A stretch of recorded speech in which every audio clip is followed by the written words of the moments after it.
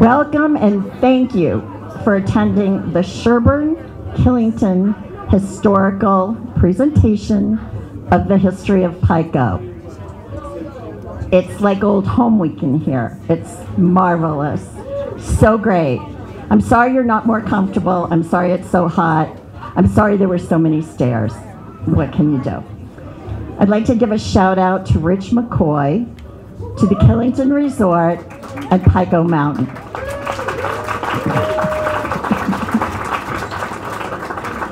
For providing this fantastic old space, as well as the town of Killington, who did advertising for us and supports the Sherburne Killington historians. I want to thank Chris Carr Productions for the beautiful posters that you've seen everywhere. His staff put those together and um, for free, and they're, they're marvelous. The historian's mission is to share the information, the pictures, all of the research that we do with all of you. That's the whole reason for the historians. And we're always looking for more people. So if this kind of thing interests you, please come on board. You know, we have someone who's going to do a train piece in December. It, you don't need a skill set, you just need to be interested. So, we have two hours, actually, not even anymore, two hours to get through this. So, therefore, please save your comments and questions for the open discussion at the end of the program. We hope you enjoyed the slideshow, which will be followed by a video promotional from the 70s from Bob Perry. Many of you will remember him. And, uh, and, uh, and our distinguished panel. We invite you to go to the bar, but we also ask that you uh, do so maintaining respect for speakers. It's a pleasure to see you all here, and thank you. I'd like to introduce our Master of Ceremonies, Tom Acker. Tom Acker.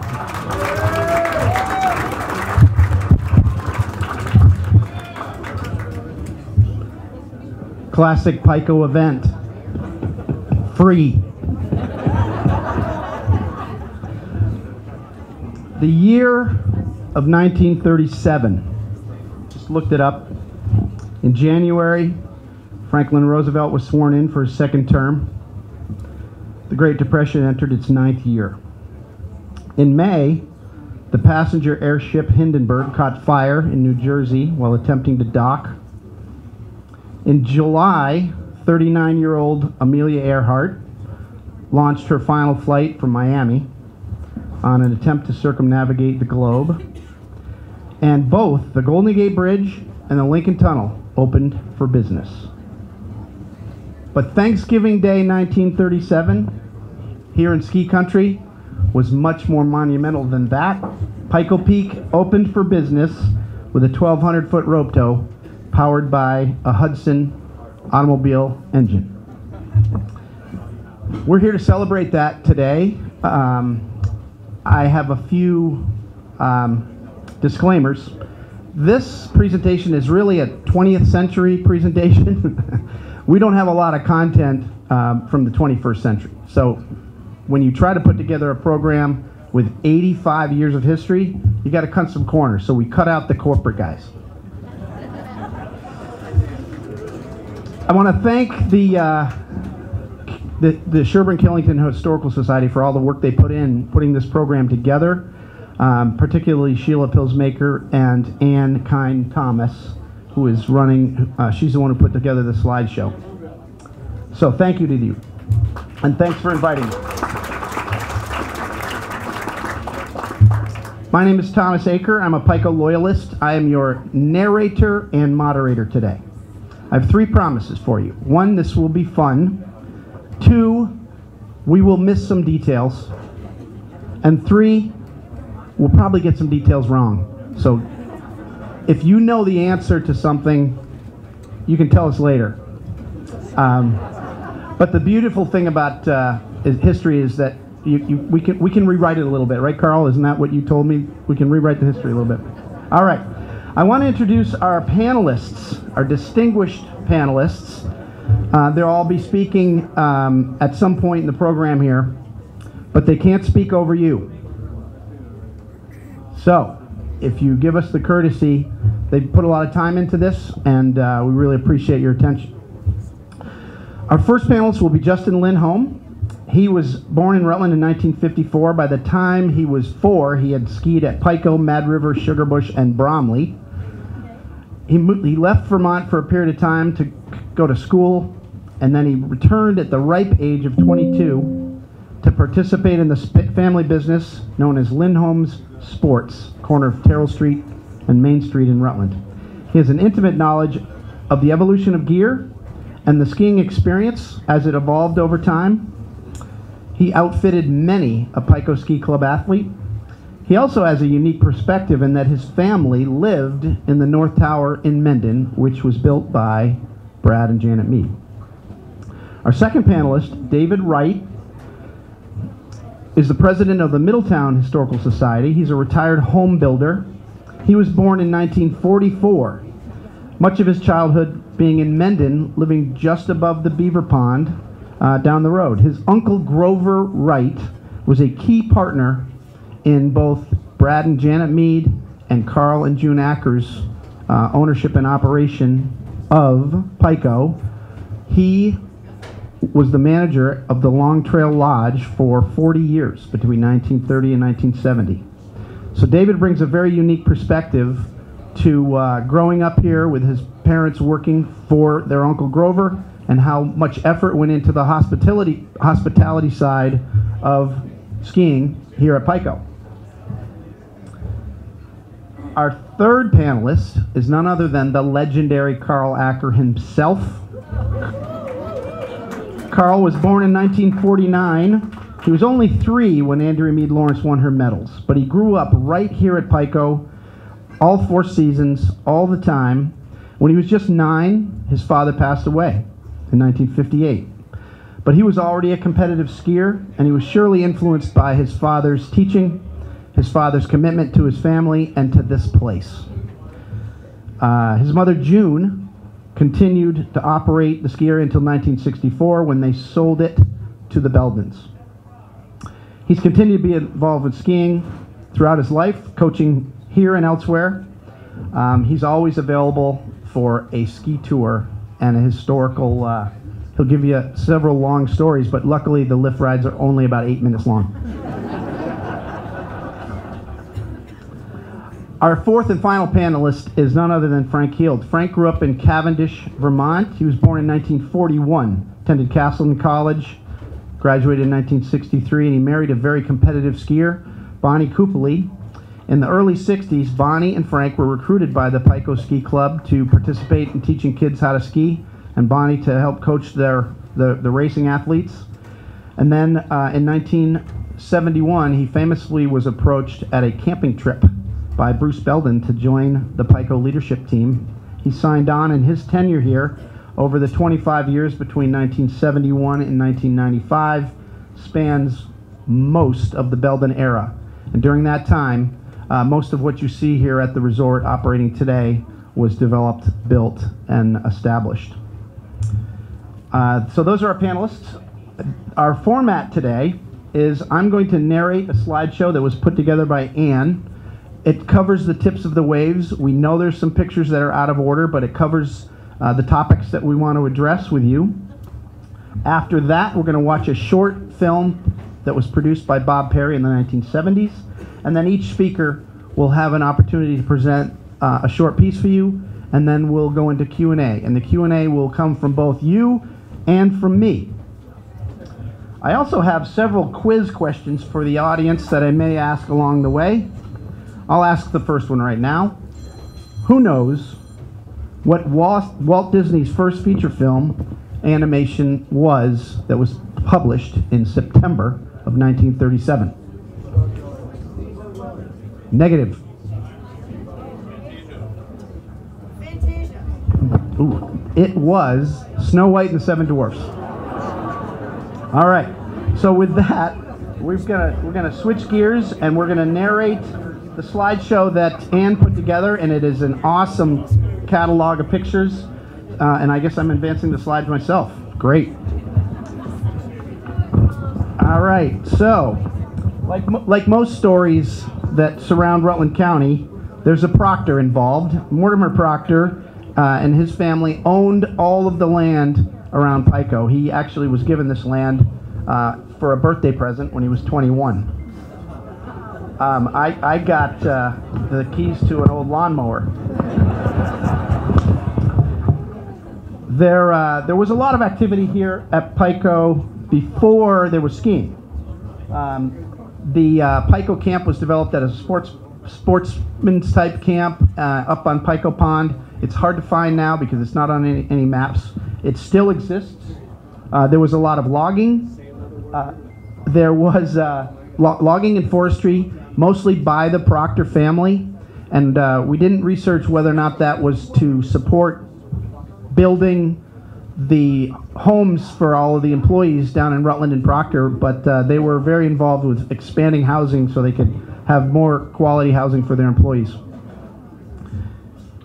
This is Pico Camp uh, picture taken less than 10 years ago. Uh, so it still exists. It's still a spectacular um, uh, remote uh, facility. Another shot of it.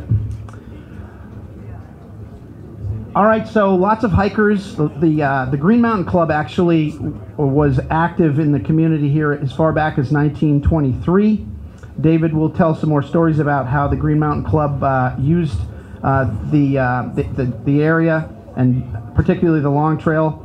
And then, then in 1938, the Long Trail Lodge was actually um, uh, constructed by the Green Mountain Club with the permission and support of Mortimer Proctor. That's important because not long after uh, the uh, Long Trail Lodge was established, it was really established as a, as a summertime type facility. Uh, skiing started here and they had to convert it to winter. Uh, there were, of course, uh, fire towers um, on Pico Mountain to uh, keep track of. Uh, were fire towers up and down the Green Mountains, and uh, this is a picture from as far back as uh, the 1920s. All right, this is the Long Trail Lodge. The Long Trail Lodge, for those of you who are who, who are whose memory are more recent, it was actually on this side of Route 4, and it was more like a campus than a lodge. Um, it wasn't until later that they built the inn at Long Trail across the road. These are some shots of the uh, Long Trail Lodge. The Long Trail actually went right through the building. You had to walk in a door, go through the building, walk out another door in order to stay on the trail. Uh, if you walk up around the parking area at the Inn at Long Trail on the Pico side, you will still see uh, uh, um, foundations in the uh, in the forest there. So uh, I think we I don't know where we got these pictures, but they're all uh, from someone's catalog of activities back in the 30s of the Long Trail Lodge. This is Karl Acker's prom date from um, 1950. I forgot the year, Karl. All right, so uh, wintertime needs the hospitality side of skiing. People needed a place to stay if they're going to come here. So um, Mortimer Proctor, of course, commissioned and, and allowed the development and construction of the uh, the chalet. This is called the Chalet Long Trail, or the what was it called? Winter Annex. Thank you. I told you we get some stuff wrong. Uh, all right. Great color picture of the what is now the Inn at Long Trail on the Deer Leap side of the road. Uh, this is a nice shot looking out to what you can see as the top of a slope cleared. So they were skiing Pico by the time of this picture. Uh, you can also see at the dome in the 60s, you'll learn that we were, they were calling the top of Pico the dome. You can see the Sunset Schuss, which was built in 1938 by Charlie Proctor, who was a relative, a Dartmouth skier, very competitive uh, athlete. He uh, hand cut the Sunset Schuss in 1938. So you can see that they're skiing Sunset Schuss and they're skiing A slope by the time of this picture. The rest of the campus across the street is the old uh, Green Mountain Club Long Trail Lodge. Uh, and this is a shot that uh, shows the type of equipment and the happy faces of uh, Pico skiers who were coming to stay at the Long Trail Lodge. All right, the next section is clearly the, uh, the most significant in terms of origination of skiing. And in the 1930s, there were several other ski areas that were kicking off. Uh, Brad and Janet Mead had skied in Switzerland. Um, they moved to Vermont and built the um, North Tower between 1932 and 1937. Uh, in 1932, Brad was 27 years old. He'd already been to Switzerland. He had already convinced Mortimer Proctor to sign a lease so that he could operate a ski area, and he had enough capital behind him to open a small ski area. I won't tell you what I was doing when I was 27, but I wasn't that accomplished. So opening season 1938 was just the 30, the 1,200 foot rope tow over on Little Pico that would be closer to uh, where the LPT, uh, where the Little Pico triple uh, T-bar uh, was to the left of LPT. Uh, this is a couple of shots of the North Tower, which is down in Mendon. Um, if you follow the the uh, the course, uh, one of the roads that goes through the what is now the Mendon Mountain Orchard, you would come to this site. This is, uh, we believe this is a shot of Brad and Janet while they were in Davos, Switzerland, before they moved back to Vermont. Young Andrea, born and raised in Rutland, uh, she lived at the North Tower, and this is a shot of her, age five, skiing down near the North Tower. This is uh, in Mendon. This is the first opening year trail map for Pico Ski Area. Uh, actually, this has got to be 1940 because it's got the. It's got to be 1941 because it's got the chairlift, uh, the uh, T-bar. But it is uh, an early example of what they use for marketing to get folks to come to Vermont to ski. But it's definitely out of place. All right. Um, I actually remember this building. This was the original warming hut for Pico, which is uh, beyond what we now know as the base of LPT. It was up on a knoll. So most of the developed skiing was over to the east of what we now call LPT. Janet Mead standing somewhere facing down uh, on a beautiful snow day. Janet Mead and Stevia Korzum. This name is going to be more important. Stevia uh, later became a Chaffee, and she raised three competitive alpine ski racers, two of whom skied in the Olympics, one of whom became Suzy Chapstick. So that's Janet Mead skiing with Suzy Chapstick's mom. All right, good shot of the Sunset Schuss and the developed part of Little Pico at the time. Uh, A slope, B slope, C slope, and then the Sunset Shush to the top. Uh, another aerial photo, and I don't know where we got these, but they're pretty. They're they're really kind of cool because they show the parking area for skiing at Pico was actually across Route Four. You had to carry your, your skis in to get to the to the warming hut, and then the the occupied ski area is really right around down um, near where the sports center is. And if you think skiing's expensive now, the discount was substantial. I think it, it must have been 50 cents for the, for the day. It's discounted to 25. Yeah, we'll print, print the discounts out. All right. Um, this is an important marker uh, because it, this was installed on the Little Pico triple chair uh, after it was installed in 1980. Uh, the the uh, Roebling Constam T-bar was installed and opened in spring of 19 or the winter January of 1941. Um, and this marker was was put to commemorate its decommission and the opening of the LPT. Now it's interesting to note that that Constam Roebling T-bar, Roebling is the same family that built the Brooklyn Bridge in the 1880s. Now the Roebling that built the Brooklyn Bridge, the actual en that engineer, he died while the bridge was being constructed. So this is his his uh, his uh, probably his grandsons or his nephews that are now running a cable company, And if you think of, uh, of an aerial tramway of any kind, it's really a, a conveyor that is based on the, the principles of a cable. So that's why Roebling was an important partner for Constam. The other interesting thing about this slide is that that, um, that T-bar was only 39 years old. How old is LPT? Got to be 41 right now, 43. So the T-bar only lasted 39 years. LPT has lasted longer. 1941, the opening of the Constam Roebling, uh, we, we call it the Constam T-bar, was a big deal. The community was behind it. This is an ad from the Rutland Herald. Many of you will remember some of these businesses, um, but there certainly was an outpouring of support to have a destination ski area here in central Vermont, and um, and lots of businesses were supporting it. Uh, Bob Stafford was here. The, he was the governor. Was he the governor at the time? Somebody correct me. He was a senator at the time in 1941. No, but in 1941 he was the governor. We'll call him a local politician. That's safe. so, uh, so he was here to help open the T-bar in 1941, and there are lots of pictures from around that winter. It had a lot of good snow.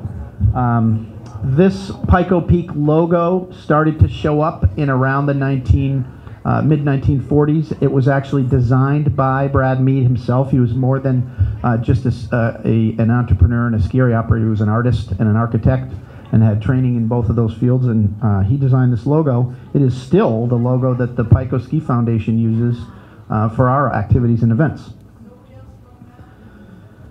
So the cars give this one away, 1944. Um, so there's three years into it. Uh, I don't know if it snowed more then, but that certainly looks like a great snow day. I also like uh, how wide open the trails were. We've used this particular picture and one and some like it to try and recreate some of the training facilities at Little Pico over the years. Uh, great shot going up the T-bar. This is in, in approximately early 1940s before they painted the, the barn of the T-bar brown and you lost the, the sign because at some point in the later 40s and early 50s you stopped seeing the sign. It also has wooden towers. So not long from now, a few more pictures in, you'll see that the towers were replaced with steel. This picture, we're pretty confident, is Karl Acker's father. That chin is a dead giveaway. We cannot tell you who he's riding with. Um, but uh, we also estimate that may have been at the very top of the T-bar, which many of you remember. That was a treacherous experience. Uh, speaking of the top of the T-bar, um, wooden lift towers. Uh, as you can see, uh, this is uh, the unload platform that many of us remember. Some of us still go to therapy to recover from it.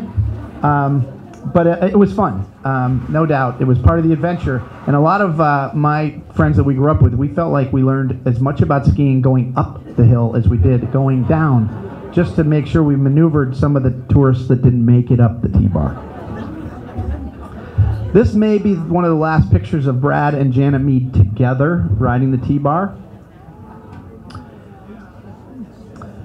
So in September of 1942, Brad Mead dies as a young man, 37 years old, um, leaving his wife, uh, widow, owning a ski area and having to decide what to do. It also, as you may recall, 1942 was kind of a big year for um, the rest of the world as uh, Pearl Harbor uh, was December 7th of that year.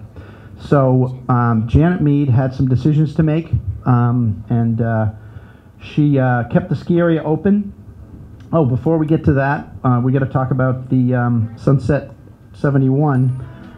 After Brad died at a, on a boating accident on uh, the Chittenden Reservoir, and they decided they were going to bury him on Pico, they walked up the Sunset Schuss until they got to a spot where Janet could see the reservoir, and that's why they picked the spot where they did. And many of you have skied in there and saw that both Brad and Janet Mead are buried just off the trail, and that's how Janet picked the spot. So Janet Mead had some. Oh, I'm getting ahead of myself. Forgot the ski patrol and ski school. So in the early days of skiing, there were two things, two needs. Uh, people who wanted to learn how to ski needed somebody to teach them. Uh, and then, of course, people who got hurt while skiing needed someone to care for them. So these two um, career paths really opened up in the in the 1930s, just as the sport was opening up in and of itself. So the volunteer ski patrol, the Otter Ski Patrol, was created by Pico skiers and remains the oldest registered ski patrol in the nation. Um, in 1938, the second year of operation, Brad and Janet recruited Karl Acker as a very young uh, ski instructor to come in from Switzerland so that they could have a marquee ski school because they knew people were going to want to know and learn how to ski. So these uh, few pictures that we've got for you are from uh, the, the uh, early 40s of the Otter Ski Patrol. If you uh, want to know what we're looking at, the, the building on the left is the Otter Ski Patrol building, and it was located approximately where the Pico Ski Club is now, um, facing off towards uh, what would be LPT, uh, but at that time was uh, rope tow and then later the Constam T-bar. So I don't know if Joel LaFrancis can tell us. I don't think he was there. But how many ski patrollers does it take to keep this thing from run, running down the hill? It looks like it weighs about 600 pounds, but and maybe they were maybe they were uh, taking care of more than one patient at a time. That would make sense as well. So anyway, riding the rope tow uh, or the T-bar, I can't uh, with uh, with this. This is I'm sure a, um, a, a homemade uh, rescue toboggan that the Otter Ski Patrol came up with. And then, uh, of course, the otters were uh, very visible, very um, important part of the uh, the early part of ski area. And there's we could do a whole two-hour session on the history of the Otter Ski Patrol. Um, there are several in the room probably right now, in addition to Joe LaFrancis. Go ahead and raise your hands. One, two, look at them all. Outstanding. Thanks.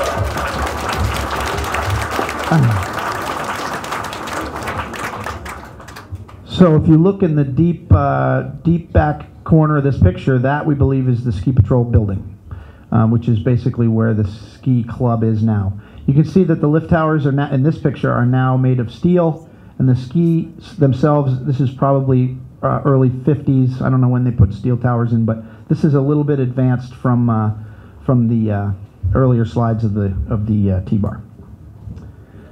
There's the top of the T-bar, the infamous fourth tower, where many of us would get off and ski through the woods so that we could ski lower B slope, and that was our training venue when we were kids. Um, and then this section of the T-bar was uh, the fun section, uh, particularly over time when the cables wore out, and instead of replacing, they would shorten them. That was fun. Um, another great shot of uh, of an otter ski patrol standing at the base of B slope. So, wartime. I got ahead of myself, but um, December 7th, 1941 uh, was a uh, substantial moment, and the world changed for sure. And uh, America's attention turned to uh, supporting the war effort. That included uh, Karl Acker himself, um, joined the 10th Mountain Division and served for three years overseas. Uh, Janet kept the ski area open during the war. Uh, there was access to Pico. Veterans could ski for free.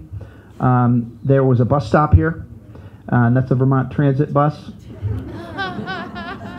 So skiing continued, at least here at Pico, during wartime. Sorry.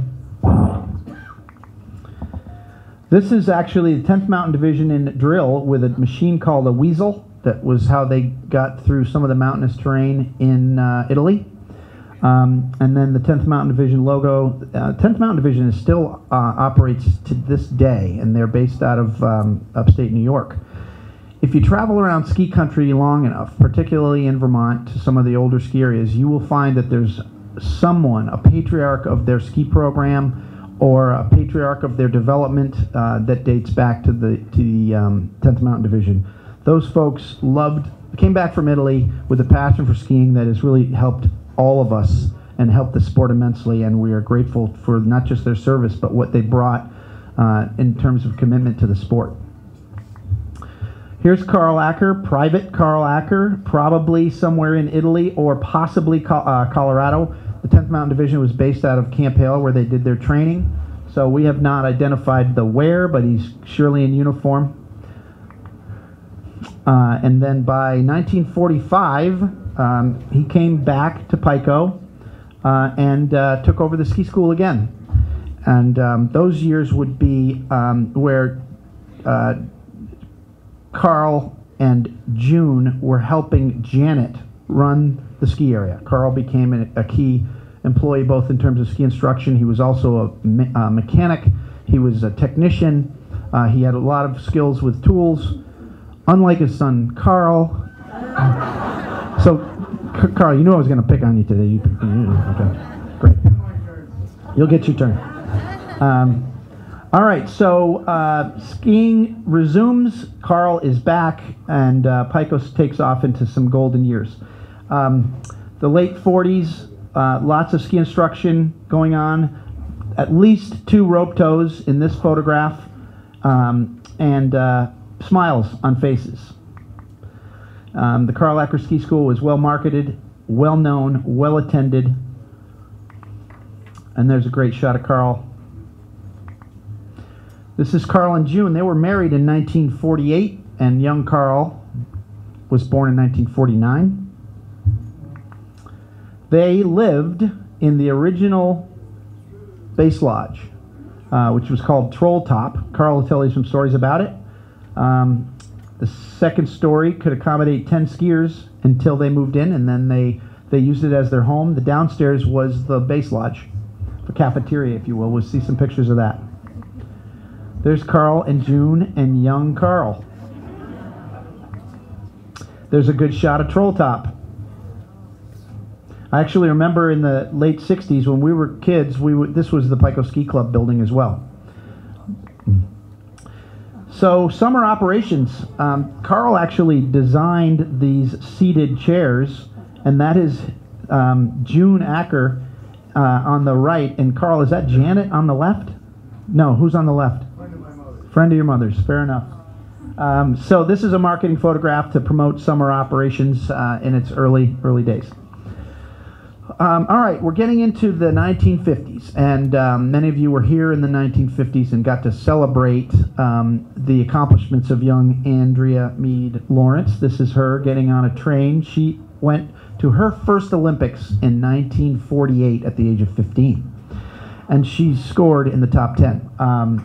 She was trained here at Pico by Karl Acker, and uh, you'll hear a little bit more of that about that. Uh, there are so many pictures of Andrea Mead Lawrence um, when she was young, uh, and and again when she was accomplished. But these are just a few that we've collected.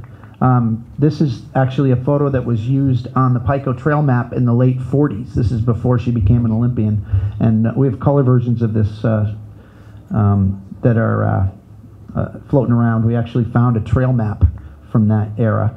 Some of these are, uh, yeah, some of these are um, obviously um, stage photographs. We can't tell whether this is at Pico or whether this is somewhere where she was uh, um, being photographed as part of her team activities. Um, this is a photograph that I walked past about two weeks ago uh, in Sun Valley. It's in the Sun Valley Lodge um, along the corridor with all kinds of other famous people. And there's four women racers in this photograph. Uh, the woman to Andrea's right is Gretchen Fraser, who was an Olympic medalist in 1948. So she was teammates with Gretchen. Another shot of Andrea. Uh, in uh, Andrea met David Lawrence on the U.S. ski team, and they got married. I believe it was 19.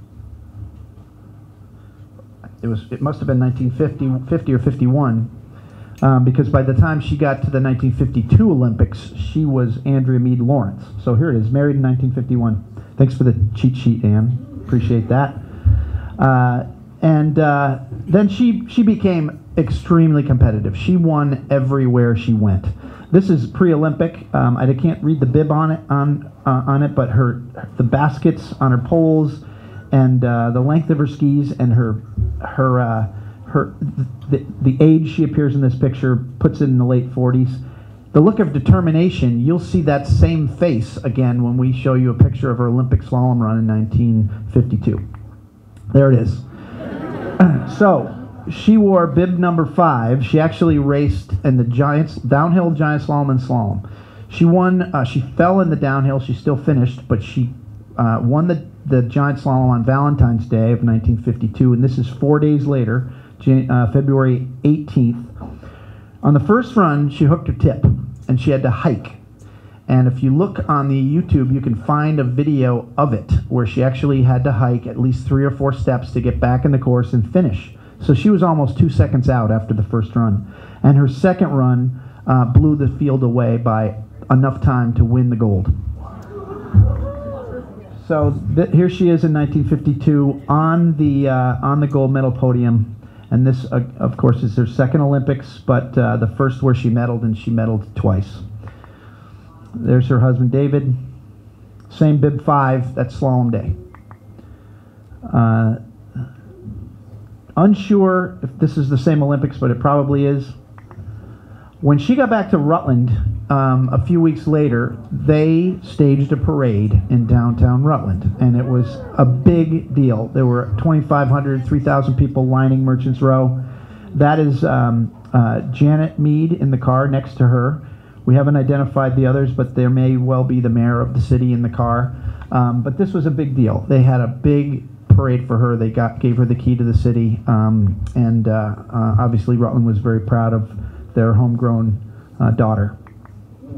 She made the cover of Time magazine that year. Um, this is uh, um, we don't have a date on it, but it was 1952. Um, and then she came back to Rutland and raised her kids. She had four kids, and she taught them all how to ski at Pico, except for Quentin. Quentin wasn't born until Andrea lived in California, and the story goes that um, uh, uh, Andrea skied in three Olympics 48, 52, and 56 in Cortina. And then in 1960, she carried the torch into the Olympic Village while she was pregnant with Quentin. Uh, that's Quentin on the right. Those are the rest of Andrea's uh, kids with her. It's uh, Matthew, Cordy, Dee Dee, and Quentin. So 1951-52 was a boom year for Pico. Um, Karl Acker as the director, and uh, the rates had gone up significantly. A season pass for a full Monday or midweek season pass was 35 bucks. Unlimited 55, or you could just buy single rides for 40 cents a piece. Sure, that's that's a good deal. Uh, uh, all right, so um, skiing is happening. There's been a an expansion to the west. Um, you can now see there's another rope tow uh, to the west of the um, Constam T-bar. Uh, and uh, we're, we're, we're pretty sure that we're skiing, uh, that the foreground skiing is on Lower Pike, also known as Sea Trail, but had been widened by this point. Cafeteria uh, over in the basement of the Troll House, and uh, we're pretty confident that's Andrea right there, ordering a hot dog, breakfast of champions, I'm sure. 1950s T-bar picture. We're still running uh, wooden towers, wide open terrain, B slope on the left, A slope on the right, and then uh, a rope tow uh, off in the distance. Color change. So this is later on in the 1950s, clearly, probably during uh, uh, Karl and June Acker's period. So 19, 1958 for the second time, Pico's ownership team lost their patriarch. So now, by 1958, this young ski area is being run, owned and run by a woman for the second time. Um, so that uh, that moment um, obviously changed things dramatically. But Karl, of course, is recognized as Andrea's coach uh, in his World War II efforts with the 10th Mountain. Um, uh, he was recognized in this obituary in an appropriate way. So we love this picture because it really does show that uh, in the late 1950s, which you can tell from the ski equipment, um, Pico was starting to develop towards the pike. This is the, the lower pike. This is the first chairlift uh, that was installed at Pico, and June and um, or did, June and Karl did this. Just June. Yeah, so this is after Karl's death. Uh, there's a better picture of that same chairlift. Uh, its base is pretty near where the base lodge is going to end up. Uh, you can see the rest of the resort off in the background, but clearly June's goal is to get to the top, and this is the first step. In fact, uh, by the 1950s, June actually commissioned the cut to the top. There's no lift there, but this is June's contribution to we're going to the top. She invested in that for sure. And you can see the lower lift is in place. So that takes us to the next uh, major period of expansion here at Pico, the 1964 transition. Karl has a story about how his mother picked the Beldens. They didn't pick her. Um, so uh, the Beldens' uh, tenure begins in 1964. Bruce and Verleen had worked at Mount Snow. Bruce had, had been involved in mountain operations and development, and he was interested in um, buying a ski area for himself, and he had some investors. This picture was taken Thanksgiving weekend, 1964, when Bruce and Verleen skied the uh, T-bar themselves. This was their first day uh, of ownership, according to Bruce. Uh, this is an interesting trail map from the early 60s. It shows proposed. So there are now mapping out where we're going. Um, and there's a lot of proposed in here. Um, but there's also a lot of a- actually what's going on and, and what's been developed so far. But the dream was alive and well um, in June Acker's um, kitchen as she laid out these plans. So this, uh, the, did they, Karl, did they continue to use the Karl Acker Ski School name even after he died? It kind of looks like they did, but it's hard to tell when this one, this could have been an early 50s uh, trail map. Okay. Um, he didn't know I was going to call him. Thought he was just thought he was just I was just going to pick on him. So um, Bruce and Verlene developed the Pico Base Lodge, um, which is now this iconic building that we're all gathered in today. Uh, kind of the uh, epi- the um, epitome of what uh, a warm, comfortable, fun base lodge is supposed to be. Looking out this window, uh, this is what Pico looked like in uh, in the uh, post June Acker era and the early Belden era. The lower lift is running, but there's no lift to the top. But Bruce was going to change all that. And uh, he uh, hired a helicopter. This is laying towers in the uh, mid 60s for the summit chair. And now we're into the late 60s. The chairlift that June had installed has now been uh, replaced with uh, what I, we used to call the blue chair or Stan's chair. Um, and uh, it was was that a hall, Frank? That was a hall. Uh, obviously, the base lodge is an active um, centerpiece of the resort. Uh, the parking has been expanded, uh, and uh, Pico is well on its way to being a, a, um, a destination ski area. Great shot from the top with the old summit chair. Upper Pike Now this is there were two Summit chairs before they built the um, the quad. It's, the same infrastructure, but they had replaced the chairs themselves, I believe. And you can see in one of these photos where the the new Doppelmayr chair hangers were installed. This would have been 1966 or seven when uh, finally uh, the chairlift was completed to the top, and the marketing campaign for that year was "We're on top."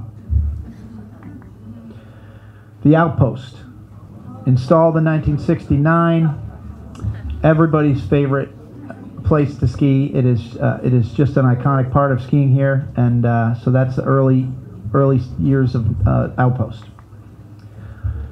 So this picture has to be the Birch Glades because I don't think the Outpost. Well, the Outpost has uh, trellis towers, and the Summit Chair had trellis towers. So this has got to be the Birch Glades, and I do believe that's Brother Michael turning around to look at the photographer. Is that right, Michael? Standing right there. So that's Michael, who was a junior patroller here, skiing with one of his buddies. That'd be uh, mid 19, early 1990s. There's the Doppelmayr hangers uh, which now replaced the um, the uh, other hangars that we were looking at a minute ago. This is a Summit chair. So 1981, opened the Alpine slide. Do I have that right, Frank? Yes. Yep, we could change history. Good. So in the early 80s, the Alpine slide came to town, and that machine, or that that uh, um, attraction, lasted 30 something years. It was a very success had a very successful run. Um, lots of fun. Brought uh, you know brought some opportunity to uh, for the ski area to keep good quality people to have summer operations, a little food and beverage, but also bringing people to the mountains in the summer. Um, Little Pico Triple, we already talked about when it was installed in 1980, and it was the uh, it was the workhorse for the Alpine slide. All right, ski racing has always been important here. Andrea Mead Lawrence's legacy uh, tracked quickly to Rutland kids who wanted to learn how to ski, wanted to get competitive, and there were plenty of parents who were interested in that path for them. Uh, this is Ann Jones in the uh, this would be in the mid 1940s, late 1940s. She was a very competitive ski racer. Uh, she married Joe Jones, and they uh, were longtime coaches here at Pico at the ski club. This is a famous day for this young racer. Rebel Ryan was a uh, senior in high school in 1964, and he was winning championships around the Northeast. The Olympic team came back from um, Innsbruck, including Billy Kidd, Bill Marolt, Jimmy Heuga, all the names that you've heard. Uh, and they and Rebel got invited to race against them in Stowe one day. And uh, this is his actual run where he placed second behind Billy Kidd. And he he beat Jimmy. He beat Jimmy Heuga. He beat Bill Marolt. He built, uh, beat all the other U.S. ski team members, and this launched him onto a career that took him to uh, to ski the world, and um, and be part of the Olympic and the U.S. ski team experience. These two kids, Rick and Suzy Chaffee, you met their mother a little while ago. Uh, this is a great shot that was um, shared with us. Uh, ski Foundation has a catalog of pictures from the Chaffees. Uh, yes, I've seen the pictures of Suzy Chaffee in the silver suit a lot because she came here and showed him showed it to us. Um, so they uh, th- they were youthful skiers, and Rick Chaffee tells the story of uh, the first time he was able to finish a race. He doesn't know if he won it or not, but his medal was given to him by Andrea Mead Lawrence, and that made a lasting impression for him. Rick Chaffee went on to be quite the competitor himself. He skied in two Olympics um, and uh, was on the U.S. team for for uh, quite a while. Um, and uh, there was one uh, year where it was um, it was the finals of the World Cup out in uh, California, and the only person to beat um, Billy Kidd and Rick Chaffee was Jean Claude Killy that day. This is Suzy Chaffee. She had a very competitive ski racing career, but obviously she became much more famous in television and advertising, and also in politics. She was the voice of Title IX in the 19, late 1960s and early 70s. And she has sat with and uh, been photographed with three different presidents, um, including Ford, um, uh, Gerald Ford, uh, Richard Nixon, and um, George H.W. Bush, George one. So she's uh, made her way around and really made her voice heard on behalf of uh, women's athletics and uh, and other and other causes.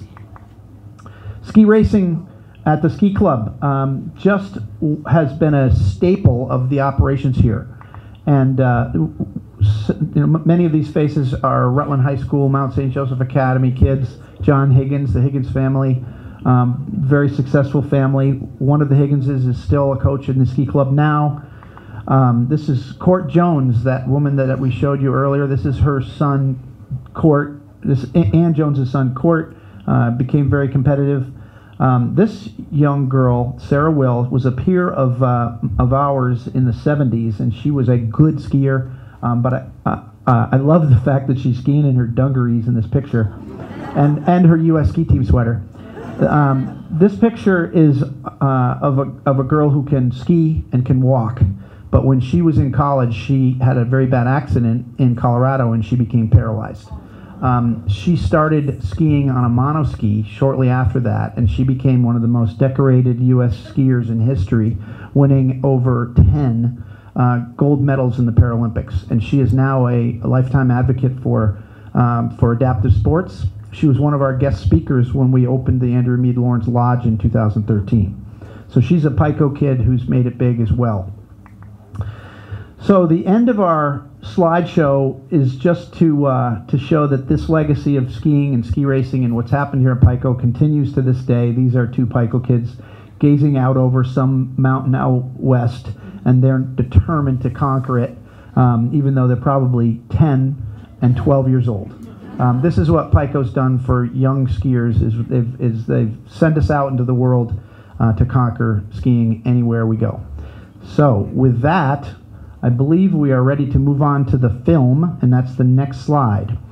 So, thank you for listening.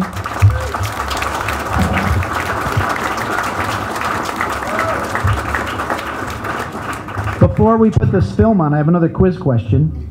What three ski areas, in addition to Pico Peak, were patrolled by the Otter Ski Patrol? One.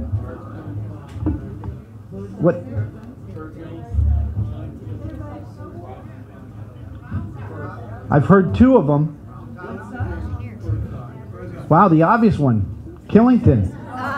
So Bird's Eye, High Pond, Killington, and I don't know the answer to uh, Round Top.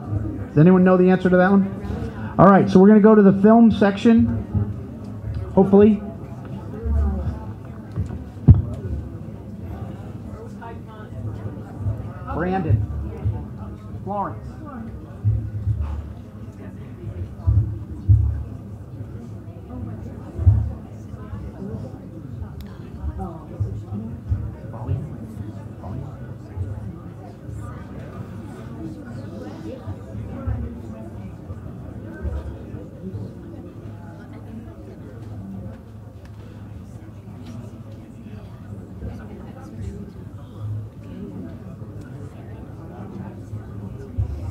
Don't have any volume.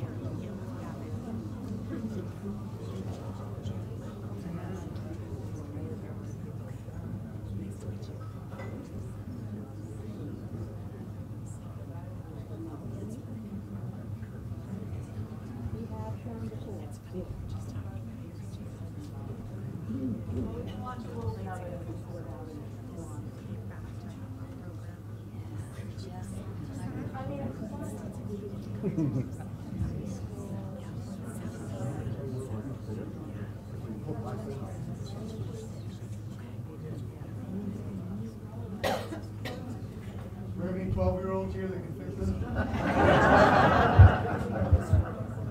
You know, you can find this on, on the Heinsberg, uh, the Sherburne Killington Historical Society on our YouTube page. So look for it. How to search Bob Harry Pico.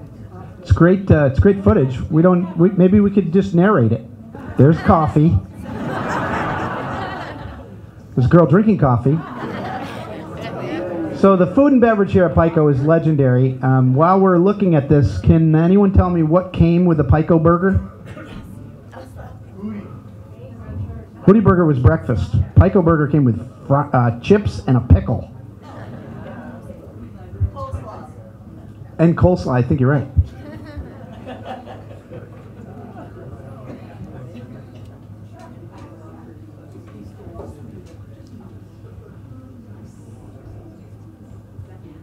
You guys enjoying this without sound? Great. Who knows what GLM stands for? Wow, good, good, knowledgeable crowd here.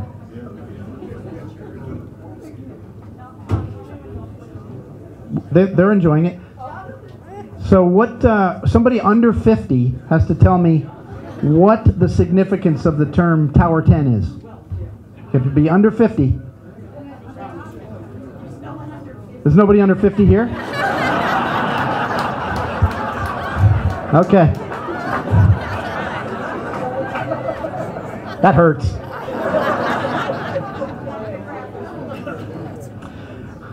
All right, I got another one. Patrol still identifies that area. I know. I know.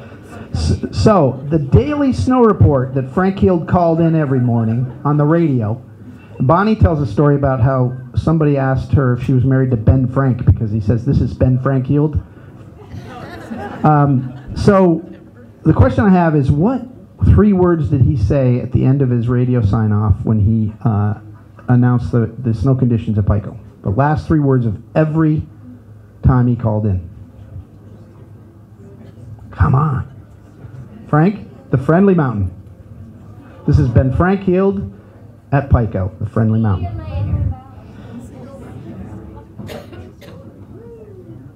So this must be Nastar up on up on B slope off Tower 10. Neil McNeilis, legendary coach here from Pico,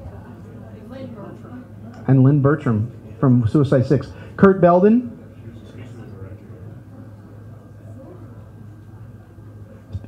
So it it wasn't everywhere in ski country that you had a couple of uh, um, pro racers who won. I don't know among them they probably won six or eight cars, uh, setting the pace every day for a NASTAR race. And the pace setters would run the course first, and then everyone would be handicapped off of that.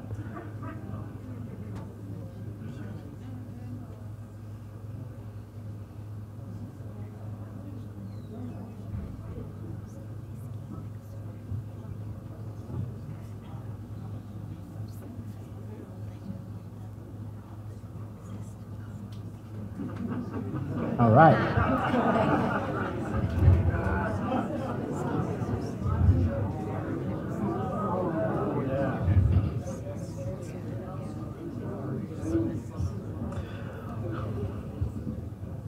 Pro racing here It was a big deal.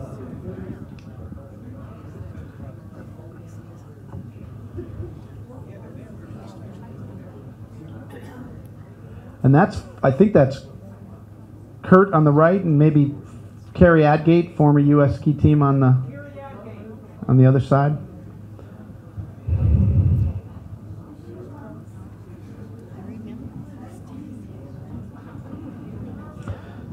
All right, so I have a trivia question for you. Why is the trail off the summit named the 49er? 49th year, Kevin Creed. Anybody else? 49th Trail. Anyone else? Frank? It was number 49 on our master planning trail list. So, the science of trail naming. I want to know what didn't make the list. Yeah, 47 was scratched. Um, all right, so what three, name at least two trails in the history of Pico that are no longer on the trail map? Joker is a favorite. Swinger, it's another one. Any others? Charlie's Highway. Easy Street's still here. Can't can't find it. All right, so with that, we're going to turn the microphone and the uh, presentation over to Justin Lindholm, and he's going to have some fascinating things to talk about, not just in terms of his family's experience with owning and operating a ski shop, but also with his experience with the with the uh, Meads and their home at North Tower. Go ahead, Justin. Tom, you did a very good job on the uh, history of Pico. So I won't have to spend much time on that. We'll get mine over rather quickly. One thing I'd like to mention, especially for uh, you ladies in the room, this is the this month of March is Women's History Month. Now, as you have seen with uh, what Tom has said, we have some giants among the industry. It's not- Switch, you can't hear. I can't hear you. Okay. We have some giants among the industry with women as it has to do with Pico. We have Janet Mead. She actually ran Pico after Brad died, uh, right at the beginning of World War II and all through World War II. Ski areas are among the hardest industries to operate anyway at a profit. A lot of ski areas in Vermont have gone under. A lot of ski areas everywhere have gone under. It is a horrible occupation. Frank Heald can actually get into it pretty good. Um, but Janet ran it through World War II. She even lost Karl Acker, her manager. She couldn't get help. Gasoline was rationed. So there's one giant lady as far as a historical woman. Followed by June Acker. June Acker ran that place, and she had a rough time with the banking industry. And she knew what she was doing, but they wouldn't trust her. And my mother would tell me all about it as it was happening, and these ladies were, I mean, they just weren't treated well.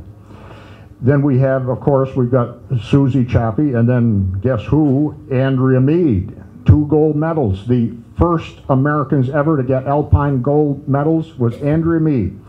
And Andrea, um, that record lasted for a long time. I don't know how many years before other Americans got gold medals, uh, two gold medals in an Olympics. She did it. That's not true. She still holds the record. Well, she, yeah, probably does. For in the same Olympics, two gold medals. Uh, she probably still has that record. And others have gotten gold medals, but um, like even Shiffrin could not pull it off the last Olympics, um, which is, I think, stunning. But this is important to notice that we have some we have some historical giants here among the women in this thing. Now, another thing I want to get um, let you know is Karl Acker. The Meads picked Karl Acker out of a lot of people. They had money during the Great Depression. They went to Europe a lot. They looked for a ski instructor who would be as good as they could find. They found the best in the world. Karl Acker, when they pulled him out of Switzerland, he was on his way to get two gold medals in the Olympics of 1940. He was cheated out of that chance because there was no 1940 Olympics because of World War II. But to tell you how good he was, the woman he coached got two gold medals in the 1952 Olympics, which I'm sure Karl would think was even better than what he did because he helped her do it. So that was pretty good. Now I'm just going to spend a couple of minutes on technology. Keep in mind, back in those days, before PICO and during the early years of PICO, a lot of people don't realize, modern people, because of the shape skis, how tough it was to learn to turn a ski. And they had no side cut. This is the old-fashioned ski right here. This is nine, before 1930. They had no steel edges. Um, you had that was your binding. It was a strap. It actually was kind of safe. You wouldn't break your leg so easy on this type of binding because you're going to flop out of this thing real quick. It would turn really good in powder snow because what you did was use your heel positioning. I had my uncle Alex always talk to me about heel positioning in these old bindings because he skied on them, and I never could understand it. But um, this type of uh, ski was not good. Very little control. The only control you had was in regular powder. It would turn in powder because the ski would flex as it bent through the powder. That's the only way this ski ever turned. Then we got from the 1930s into 1930s, 40s, and 50s. This is the technology. This particular pair of skis here is U.S. Army 10th Mountain Division skis. This pair was made in 1944 by the Northland Ski Company. Now they've got steel edges. Now they've got what's called a bear trap binding. And a lot of people, you know, you hear about it all the time that you are stuck in a bear trap binding, and that's where you start breaking ankles, legs, everything all the way up to your neck. And they are adjustable, but you really have to know what you're doing. Each individual had better learn how to adjust them himself at home, at his leisure. You're going to file away your boots a little bit. You're going to work on this binding, and you will get it to release. But um, you're not going to get a ski mechanic who'll do it for you. You're going to have to learn how to do that yourself. This type of ski still had no side cut like modern skis. The reason they couldn't put a side cut on these skis is um, the bend like they do now with a big shovel and a big tail and bend side in the middle. They can't, they couldn't do um, keep the thing from twisting. And when a ski twisted, you'd lose all control at higher speeds until they came out with a Kevlar wrap, which is in a modern ski. That technology has really made it a whole lot better to ski. In the old days, they also had these wider baskets on the poles. They had to have wide baskets, and I've seen them even wider than that. Uh, this is Northland poles. Uh, because you're going to sink a regular modern pole, you couldn't ski on those kind of conditions back then. Um, it would go right down. Uh, it's just too soft as snow they were skiing on. Grooming, there was no such thing. They had packing. They would have these tractor like packers that would pack the trails. And before that, the only way you packed a trail was to climb sideways up the hill. Everybody got together and they packed their little trail for the day, and that was that. So basically, that's all I wanted to go through. Uh, some of the equipment. Oh, the other thing is boots. boots stunk. They were. when I was a, th- this is a double boot. You had to lace up the inside boot and then the outside boot. And us kids never had an inside boot. And let me tell you something, we would freeze our feet in minutes with just plain leather on your feet as a kid. That that was bad.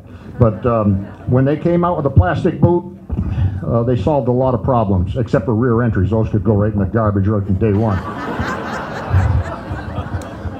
now, we're going to have um, Dave Wright going to talk about Long Trail Lodge. They had no lodging when they started off at Pico. It was like, where were you going to stay? They had people coming up by trains. Um, they were looking for places to stay close by, and there really wasn't any. So, I don't, would you like to? Um, Can you talk a little bit about the technique, skiing technique? okay, the technique. Yes, this is good. to turn to turn these skis, you actually, when you got done thinking, you got done doing it right, you forgot how you're doing it, but you are now doing it right. You had to use your knees, you had to hips, butt, back, and shoulders. All had to be in unison to get that ski to turn. It took me forever to learn that. They always say the women learn better than the men because their butts stuck out farther. I don't know if that's true or not, but that was one of the theories. So, Ju- Justin, how do you how do you how do you get those how do you how do you get those figure eights up there? How do you do that? Oh, that's two people doing figure skating or figure skiing. They did figure skating and figure skiing. And this this sort of thing is a figure skiing thing. I don't think they're competing with each other. They're just trying to to um, see if they can avoid each other while skiing close to each other all the way down the hill and come up with a nice design. And um, so that uh, that was cute. North Tower, I'll just mention it quickly. I grew up at North Tower, just like Andrea Mead grew up at North Tower. I started skiing at North Tower. Andrea Mead started skiing at North Tower. I turned out to be a nothing. She got two gold medals. So something's missing with me. You haven't figured it out yet. Um, North Tower was designed by Brad Mead. He um, was an architecture student at Norwich University. This is way back in the woods. It's over half mile road getting to it. It's got beautiful cliffs all around it. This picture is taken from one of the cliffs. It's not taken from an airplane. There's cliffs all around. It's a beautiful place, but hard working. You got to work a lot. They sold it in 1940 because they were moving everything to um, Pico. It was difficult for them to go up and down that road. That road is a horrible road going up to it, steep and narrow and winding. And um, we put a lot of cars off in the ditches trying to get up that thing in the wintertime. And sometimes you just didn't make it. You walked the whole half mile. And um, anyway, it's a beautiful place, very private. They liked privacy back then. And Andrea Mead always loved that place. She would come and visit uh, my mother uh, whenever she was in town to look at the castle or North Tower. And uh, a very beautiful, enchanting place designed by uh, the husband. And I will say one thing on the, um, this over here is where Brad Mead did his, that's his, the chapel or his art room. That's where he did the paneling that he, he painted all, he was also a painter. He painted the paneling of what he wanted Pico to look like and he convinced um, Mortimer Proctor to let him lease the land from many paintings, big murals he created and put around that one room. Um, it's a good thing that he got in, got into Pico, and a good thing Mortimer Proctor let him. a lot of foresight there, both, both men. So, Justin, before you step down, uh, I'd open the floor up. Ju- Justin has a, an incredible amount of information and knowledge about the, how the, the ski technology evolved over time. Justin, what was your favorite uh, ski of all time? Oh, mine was the uh, Kesley National Team Slalom. And I will tell you that Americans hate stiff skis.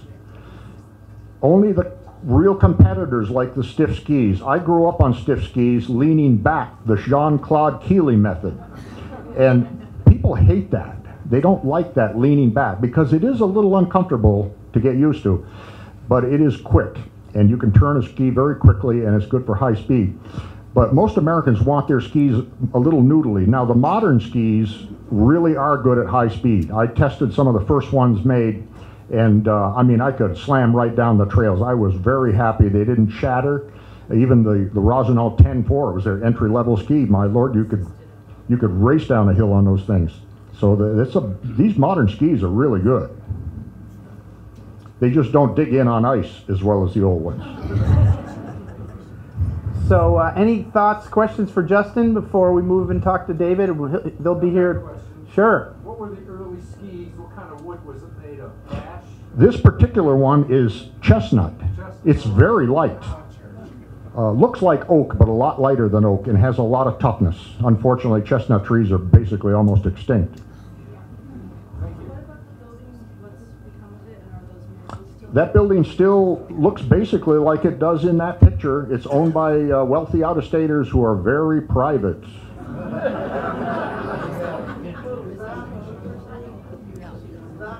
Yeah. Yes.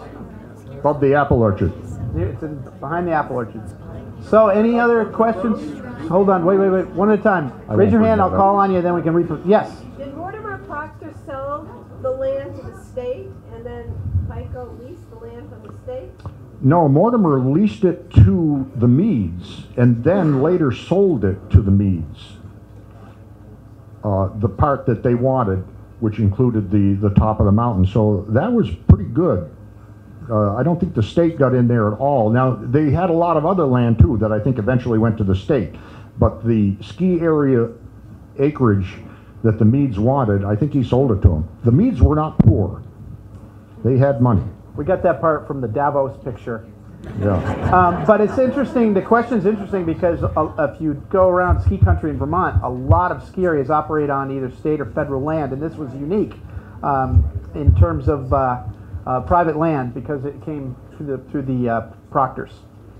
Um, so, Justin, what about ski bindings? I'm sure you had uh, days where people would walk in with a bag full of, you know, things and say, "Can you make bindings out of this?" Well, I, I learned from one of the best ski technicians there that existed. Uh, he started skiing back in the early 30s, uh, Francis Renner, and he would people would bring in a bag with all the binding parts from bindings that all kinds of companies made bindings back then. We wouldn't even know who the binding company was or no jigs, no instructions, nothing.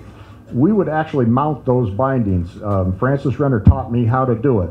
Now the liability is so massive, you can't touch stuff like that. You got to be certified for each individual brand of binding now. Uh, so it's a lost art that, um, uh, too bad I can't do it anymore. But the last set was a guy bought them on the internet, and boy, did he end up with a couple of pieces of junk. And uh, he wanted them mounted, so I mounted those babies for him. I told him, don't sue me. That was the end of that one. Uh, before we move on to David, any other questions from the audience for Justin? Raise your hand.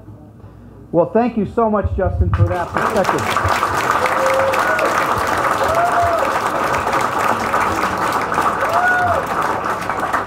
And uh, you can hand it to uh, to David. And David, tell us uh, tell us uh, your contribution to this story. Well, I want to say first what a trip it's been. You got to use the microphone, my friend. Nobody can hear you. What a trip it's been s- from the beginning of the uh, slideshow uh, to what we have now around us. Uh, the development of PICO is, uh, is in some ways miraculous. But let's go back to the beginning again because this represents uh, the years, a few years before PICO was started. This is from the 20s, probably, and, um, um, excuse, excuse me, the 30s. Um, and this beautiful rustic building was built in 1923, uh, financed by Mortimer Proctor, probably on land that he donated to the Green Mountain Club. If you don't know about the Green Mountain Club, look it up because they are the ones that created the Long Trail, starting in 1910, finishing it uh, just a few years after the clubhouse was built in the in the late 20s. Uh, a beautiful rustic building, uh, built built by um, an incredible genius, uh, Paul Thayer, who lived in Wallingford and who had uh, a lot of experience in building rustic buildings before. He did Long Trail Lodge, and, and he and others consider uh, Long Trail Lodge to be his, his masterwork. Um, I, I, I, have to say you had to have been there, but the photographs do um, give you some idea. Uh, the, how this figures into Pico was that it was there in 1937 when um, Brad and uh, Janet started Pico, but there were no places to stay uh, in the immediate area, and Long Trail Lodge was right next to Pico. So um, my uncle, who was the manager at the time, Grover Wright, uh, he got the idea to keep the this lodge open for the winter, uh, the first season. Well, it was a it was a miracle and a disaster, you'd have to say, because it it was practically unlivable. Um, it was heated by a wood furnace down in the lowest level of this building, and the, the guest rooms were up on the top level. So not much heat got up there. So guests would wake up and find a snowdrift coming in and under their door. Any water in the room would be frozen. The toilets froze, the pipes, every pipe froze in the place more than once during the winter. And, uh, and yet it was a success in that it was, um, it was well received and it was really a good asset for the early in, uh, Pico uh, development. There was a trail that came down from the top of the T-bar down to the lodge, and then another trail that went down to the base from uh, in front of the lodge. So uh, guests really could uh, access the ski area without getting into their automobiles. And getting them started in the winter was another issue too in those days. Um,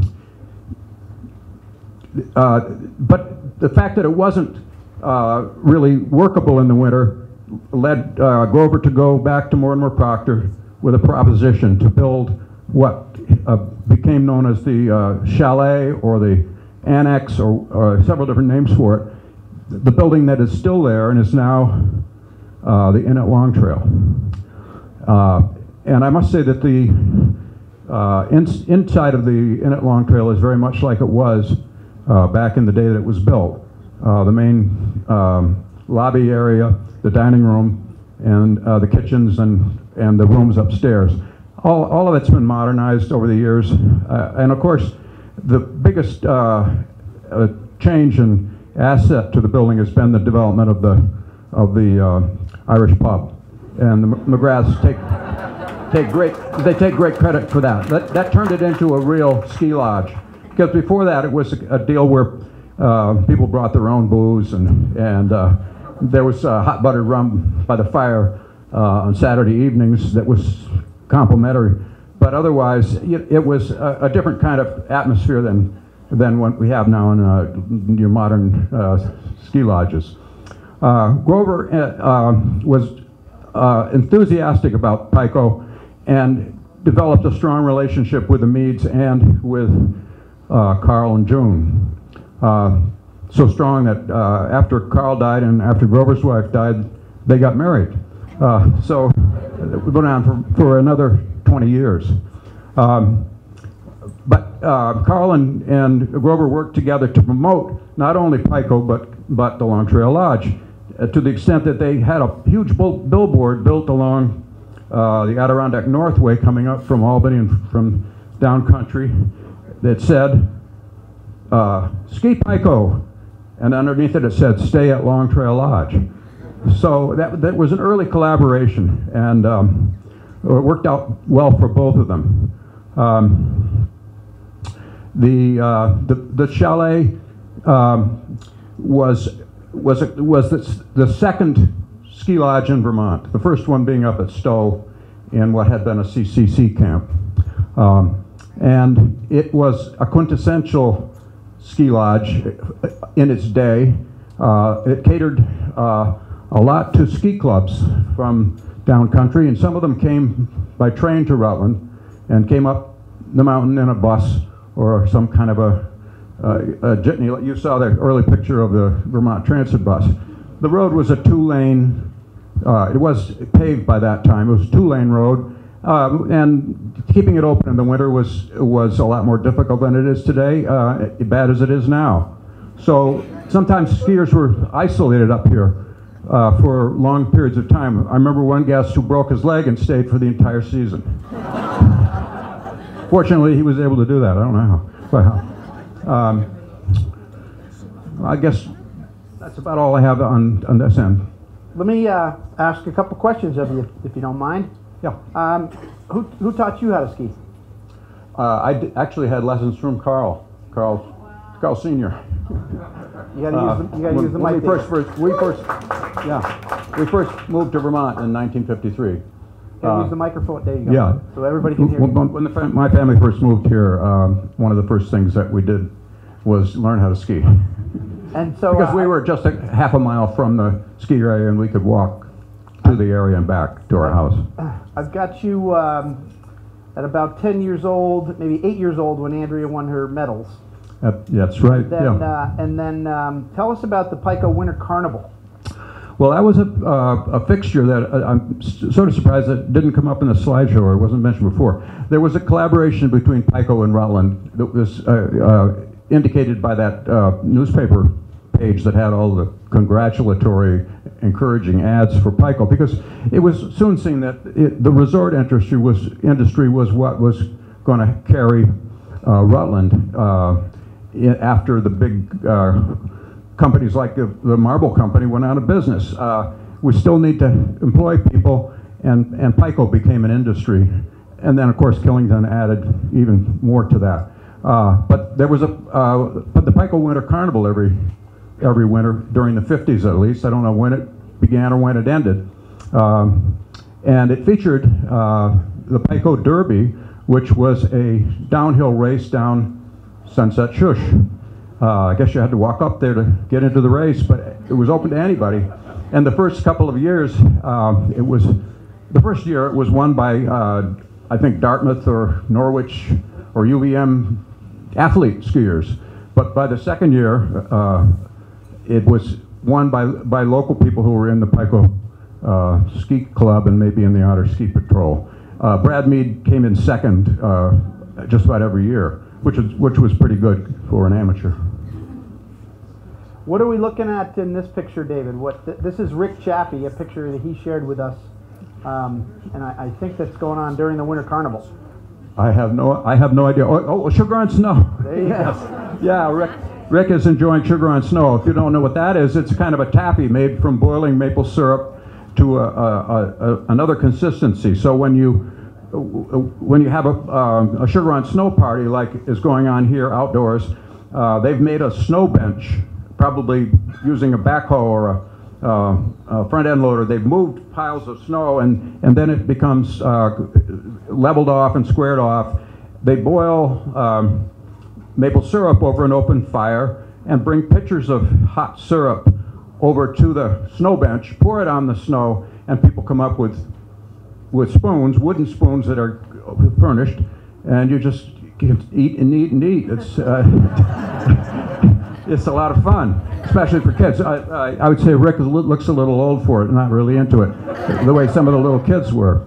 Uh, but there's a great story in uh, in Linda Goodspeed's um, book called uh, Pico: The First 50 Years, about how my uncle Grover and um, Orrin Bates, who was a uh, Sherburne fixture, that uh, a farmer, the select board chair, um, road commissioner, and I think he also was a cemetery commissioner. He did everything in, in Sherburne, and uh, he also worked at Pico. And uh, he and, and Grover were in charge of doing the sugar on snow for a particular carnival, and they had it all set up with the benches and the tripod boiling the sap over the open fire. And meanwhile, up on the on the lower part of its A slope, they were getting ready for the uh, fireworks that evening, and um, they took a sled loaded with fireworks up the T-bar, and they must have gotten off halfway or something and brought it over, and we're getting ready to set up what would be the fireworks display later in the evening, and somehow the sled broke loose and went careening down the slope. It's told in Linda's book. It went right through the fire, and it's it, and someone said that the kettle bounced up and down, and that the syrup actually came up out of the kettle and then went right back in, losing nary a drop. Now, it, I think that sounds like a story that was told up at the Inn at Long Trail Pub later on. But the, the, the crisis was averted. The fireworks did not go off. Um, David, uh, you met Janet Mead uh, as a kid. Yes. Friends with your Yeah. with your parents and your uncle. Friends of my parents and, and my uncle and, and aunt, how uh, would you Grover describe How would you describe her? Well, she was, I said she was from a different world, really, I think. And when you see photographs of her, the way she dressed, the way she talked, she had a, a kind of a, an accent. Uh, she was from another place, really. And, uh, and, and, and, and from New York. And she was, I would say she was somewhat, somewhat imperious. Uh, I, I'm sure Karl can remember a lot more about her than I did. She was a lot more exposed to her, and he'll tell you more about it. But uh, you know, she was a great lady, I would say, and uh, her bravery in taking on running this uh, outfit after uh, her husband died is an indication of that. She was going to carry through on his their dream, you know, later on. Yeah. So, does anyone have any questions from the floor for David? So, um, David, I have uh, one. You told me a story the other day. Um, when we, those of us who skiers and we travel a little bit, you might be on the chairlift or you might visit somebody and they say, "Oh, I know Pico," or "I, I used to ski at Pico," or "I know somebody from Pico." Do you have any stories of your travels where you've run across other Pico skiers? Yeah, that was um, this winter of uh, '75, and I was uh, I was out in Aspen as a ski bum, so to speak, working in a restaurant and skiing every day, and really enjoying it out there. And one day, out uh, at the top of Aspen Highlands, uh, I noticed a gaggle of people around some apparently celebrity, and they were filming it and whatnot. So I went over to see who it was, and who who who was it? Of course, it was Suzy Lipstick Chaffee. so I had to hang around and and uh, introduce myself to her, not knowing whether she would actually know who I was, but with a few references from people in the area, uh, she soon caught on, and she was very congenial and very friendly. I have to say, for a celebrity. Uh, one, one more question for you before we per- turn the mic over. Um, do you know, are there plans to preserve uh, and interpret uh, the, the Long Trail Lodge site for public access?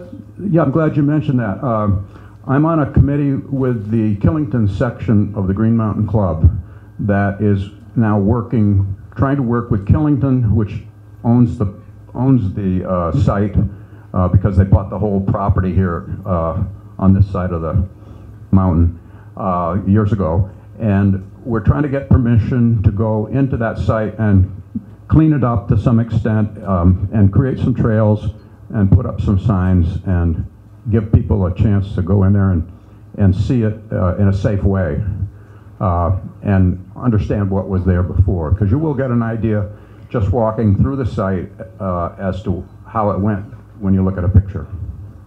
Outstanding. Well, thank you, David. Any other questions from the floor?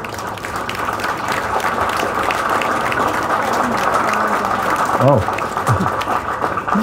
All right. And, uh, and, and the historian Ann reminds me to tell you that the the, uh, the, the the lodge burned in 1968.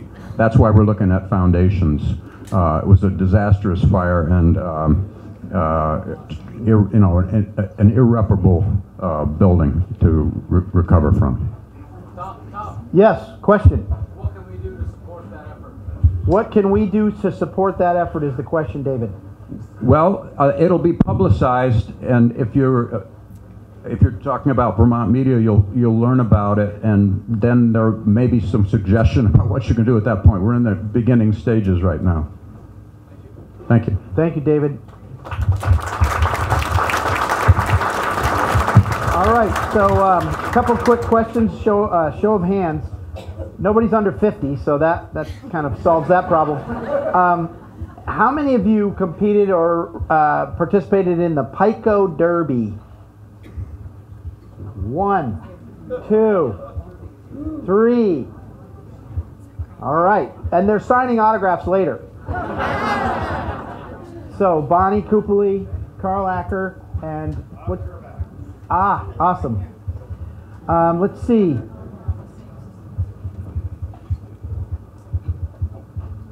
What is the former name of the triple slope? Gnomes Knoll. Everybody knows that. Okay, That was an easy one. Okay, so with that, I'm going to turn it over to Karl. Karl, you, the floor is yours um, to share your. Yeah. What's the bucket? Oh, the bucket. Yeah, got it. Let's take a 10 second stand up and stretch.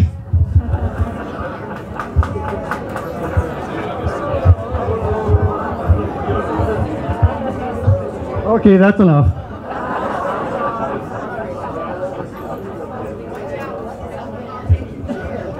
Okay, there's more. You ready? Ready. Everybody take their Prevagen this morning? I just took a couple before I sat down here. Everybody get their raffle ticket in? It's a secret. I'll tell you in a minute. Thank you all for coming. This is beyond impressive. A lot of friendly faces here. Hope I don't kick the bucket. A lot of friendly faces, a lot of longtime Pico skiers. So I would just start off by saying to all ski enthusiasts and Pico lovers that are here today, if I'm elected, Pico will be open seven days a week.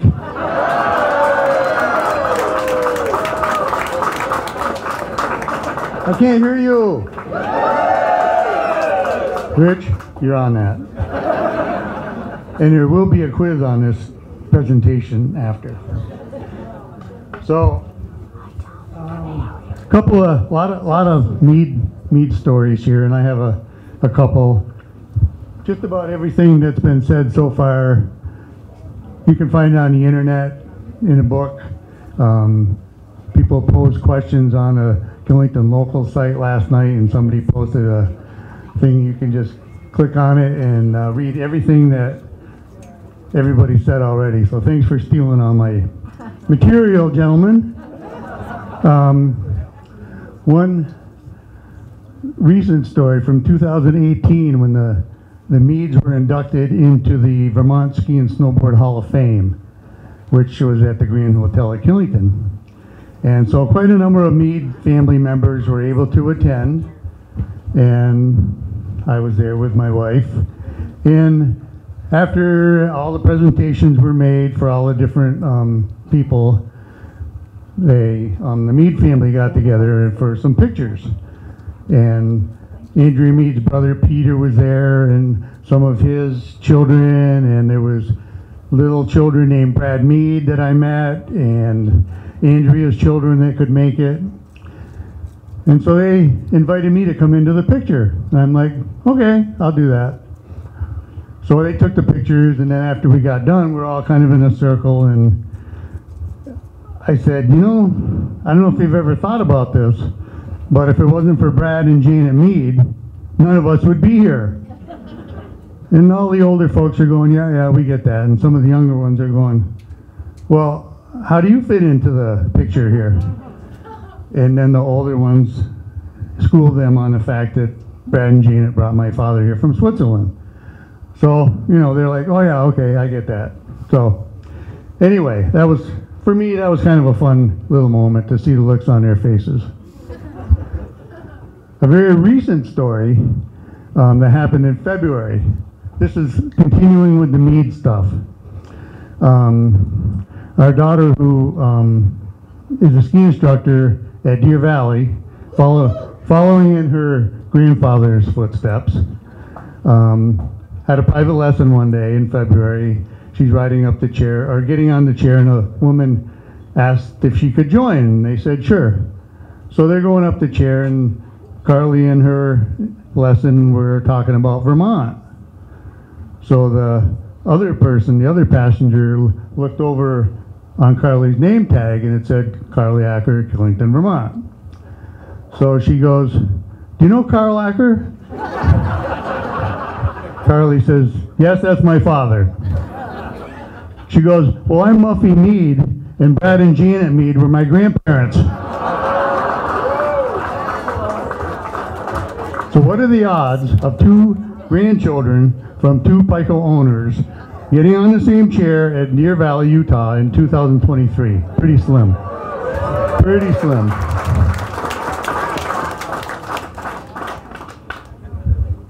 Okay. Everybody get a ticket in the raffle bucket. I'll just, we'll draw the raffle. Oh, you got another one? Okay. Two for one.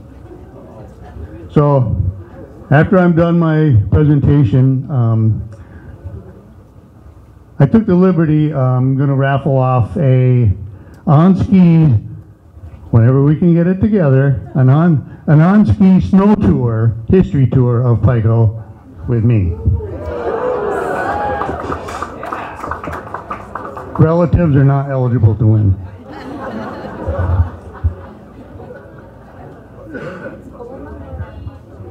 Okay, So, I have some questions for Karl.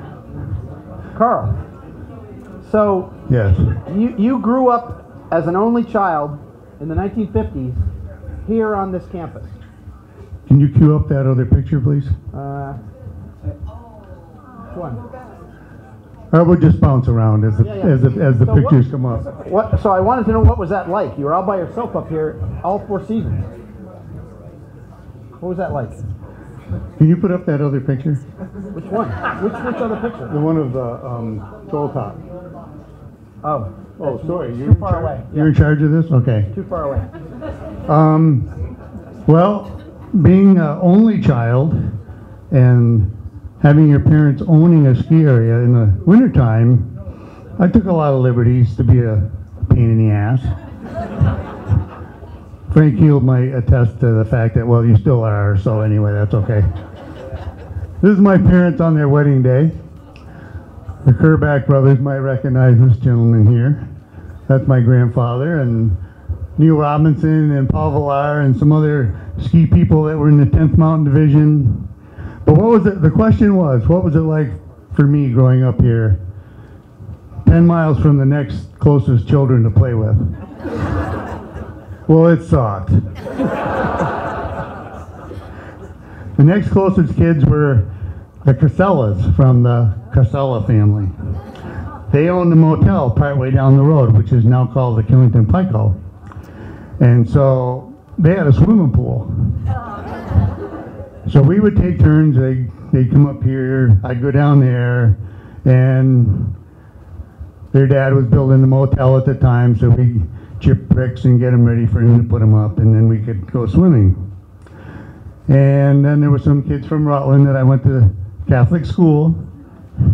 See the scars on my back? Oh. Um, and my mother drove me to school every day for eight years during the winter. There's so many directions I can go in here with this conversation. All right. So I Karl, mean, let me let me see if I can keep you on task. Yeah, you can't because it's This just too much. All right. So I want to talk about this picture, which um, you know you were a ski coach your whole career, and I wanted to just kind of analyze this picture with you a little bit. I don't see your downhill hand reaching for your next turn. So tell us about the physical aspects of skiing in the 1950s, and and tell us what's wrong with this particular athlete's uh, technique. Well, actually, that's technically very correct. Edge angle, knees, hips, shoulders facing down the hill. That at four years old is uh, about as good as it gets. That picture was in the uh, New York Times on the sports page back in whatever year that was, 54, 53. I actually have the, if you don't believe me, I have the copy at home. Oh no, it's in the vault. So I wanted to ask you about snowfall. Did it snow more in the 50s and 60s? Yes and no. I'll tell you about, well, you asked me before about what it was like growing up kind of isolated. I had, I had a cast of workers here that worked for my parents that I could pick on. And we had a, a constant, you know, bantering back and forth. And I, I need to, I need another picture up here to show you where I lived. I can't, I can't get that for you. It's too far back in the Okay, well, we'll come back to that. Trolley move. Okay. Oh. You ask and you shall receive. So this is what was called Troll Top, which was the first ski house right at the base of the mountain. Back then, people rent. This is where we occupied this later after my parents bought the mountain. And do you have your pointer? Yep. That window right here, over there, oh, there you go. That was my bedroom window growing up for 14 years, um, first 14 years of my life. And so I had this perfect view. So we're looking at being over there, looking this way towards Little Pico. What could be better? First ski in, ski out condo. You know, what can I tell you? Um, so a lot of, a couple interesting things that happened here when I was a kid, when I was a little devil, was this was the the entrance double door into the um, cafeteria area, which I'm not sure what was in there at that point, but warming hut. So there was a big roof on the back here, and there was always a lot of snow. As you, this was one of the years that had snow that this story came from. So one of my devious little fun things to do was there was a set of stairs, and that's how we got to our house. That came up the side, and we go across the front, and that was the entrance into the apartment. So I would get up there and had a snow shovel, and I would wait and I'd listen. And when I heard the door open that people were going to come out, I hooked the snow over the balcony and covered them up. Oh, Well, that went on for a little while. People would chase up the stairs. I would run in, lock the door, go like this. And then the word got around to my parents, so that was the end of that. So the proximity from that building to the lift terminal was 30 yards, 40 yards, pretty close. So there was this guy, and you're to read this in anything you're going to read out there. These are never to be spoken of again stories. so there was this a guy, uh, an employee of the mountain, that he liked to tease me a lot. And one year when there was a lot of snow, I don't remember which one it was, the space between, over here was the parking lot, if, if you will. And then they, he would come in every morning about daylight and walk across, and he would go in and start up the diesel engine for the T-bar and uh, get things ready for the day. So one year, I don't remember, I was probably seven or eight, on the path that he would walk every morning, I decided one evening after maybe my parents were out at a meeting or something, I go out in this short stretch, like from here to the window, and I get a shovel and I dig this as far deep down a hole as I could, four or five feet down. Get some cardboard boxes from the restaurant, cover it up, put the snow back over it, spread the rest of the snow around. So the next morning, here comes the lift operator guy with his lunchbox. Dee dee dee And I'm up early to watch this, right? And he falls in the hole. And you can see his lips going. And he gets out of the hole, and anyway, I got my laugh, and you know, I had to go to school. So my mom says, you know, let's go get ready for school. And later that day, every day when I would come home, I would I would um, get my ski stuff on and, and go ski until the T-bar closed, and then I would hike up and down with other kids. So I come skiing up to the T-bar to load on, and the guy comes out and he's looking at me. He goes, "You little son of a bitch." We're on, we're on national TV. You can't say stuff like that, Karl. So, You little son of a gun. So Karl, I have one more question because we have one more speaker, and shocking, you went over your time. I applied for extra time. I have a record of it right here. on my So, uh, my, my question for you is, what's your favorite trail? Boy, that's a tough one, Tommy. I would have to. s- Oh, thank you so much. It would be the KA Trail. All right. So, um, anyone have any quick questions for, for Karl before we invite our last speaker? We're uh, we're But wait, there's more. we're almost on schedule. Any questions for Karl? Yes. How did your parents meet? Thank you. So, incorporated with Justin's story and David's story of the Long Trail Lodge, my mother, who was from Rutland, um, worked as a waitress at the lodge in the summertime. And my father, while he was running a ski school and whatnot in the winter, also worked up there as a carpenter in uh, in the summertime, and that's how they met. And the rest of it I can't talk about. All right. So, Karl, would you hand the microphone to our final speaker, and uh, we'll get to uh, hear the perspective from Frank Heald, whose legacy um, is is uh, most people in this room know about. Wait, Um, wait, wait, wait, wait, wait. We'll get back to you, Wait. We can do the drawing. Oh, you want to do the drawing now? Yes, Okay. You want Frank to draw the because I'm going to pass out in a minute. All right. Okay, so everybody get their ticket out.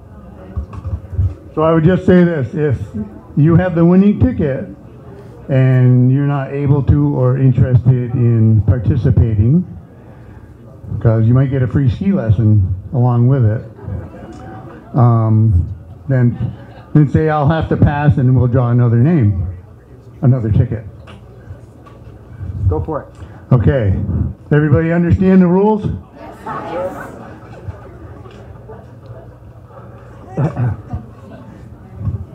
And the winner is, So, 169. It goes 842169. okay, time's up, next. Nobody? Come on, Karl. We got a winner.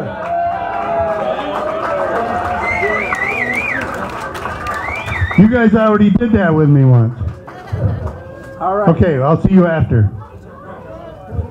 So, um, we're going to try and get back to the formality of this presentation and uh, hand the microphone off to Frank Heald. Thank you, Frank. Thank you, Karl.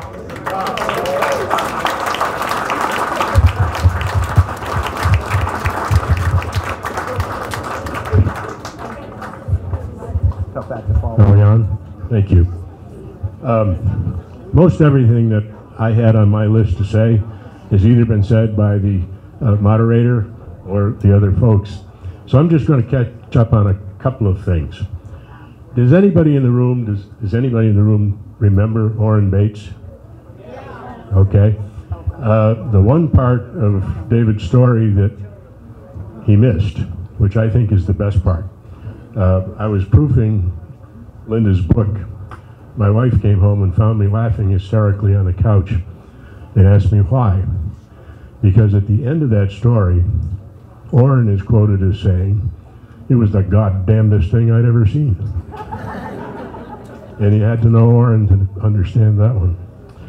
Um, as the oldest of the uh, presenters, I think, I represent the more modern time of PICO. Bonnie and I came to uh, PICO as a couple in uh, 62, 63 to help with racing and uh, junior program. Um, a couple of years later, I found myself president of the ski club, and then ended up um, as race chairman for a number of years before I joined Bruce and Verlaine uh, in 1971. And I represent Pico Peak Ski Resort, Inc., which uh, until 95, when I left the area, um, that was the operating company. During the time I was here, um, virtually everything, or during the Pico Peak Ski Resort days, uh, everything that you see here today is stuff that we built, buildings, lifts, uh, and so on. The some of the amusing things, I guess. Um, our marketing theme in the in the early '70s was "We're all natural," um, and then came '73, '74. No snow, no gas. Um, in at Christmas week, there was a picture in the Rutland Herald of a dog playing in the mud out front here. Needless to say, we found God, bought a head coat, a bunch of aluminum pipes, and made snow on the triple slope, or what we called Nome Snow in those days. The following summer, we got serious and put five and a half miles of snowmaking in the ground. And that was interesting. Um, the T-bar replacement in 1980 was followed by the Alpine Slide. And while we had been doing uh, banquets and weddings and so on, we were interested in adding to the, uh, the summer income. An interesting fact about that. One Martin Luther King birthday weekend from Friday through Monday with particularly good skiing, I realized that we'd gross more money than we did all summer working our tails off. However, it did provide some employment for many folks. Some of our accomplishments uh, in the early 80s, the uh, PICO management, the PICO board of directors um, agreed to uh, work on the development of what is now the Alpine Pipeline Company, which is a sewer pipe that runs from the top of, Al of Sherburne Pass down into Rutland City. Um, integral to cleaning up the city's watershed and um, integral to the future of the development that we're talking about on the other side of the hill um, in the future. Um, it's most important. Um, in the 89, 91 era, I spent a couple of years over at Killington as the um, as the vice president of development or some doggone thing. And we spent two years working on the, or trying to get the easement uh, for the Alp for the uh, Long Trail AT corridor uh, taken care of. Uh, quite honestly, that was finished uh, after I left the company. There's a couple of organizations that have been integral to, to PICO's history.